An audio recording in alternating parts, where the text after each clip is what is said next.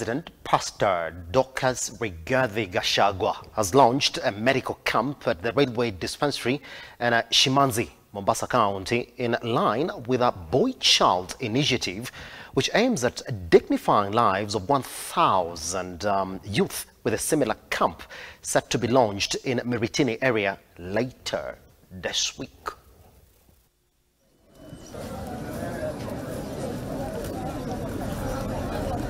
Let's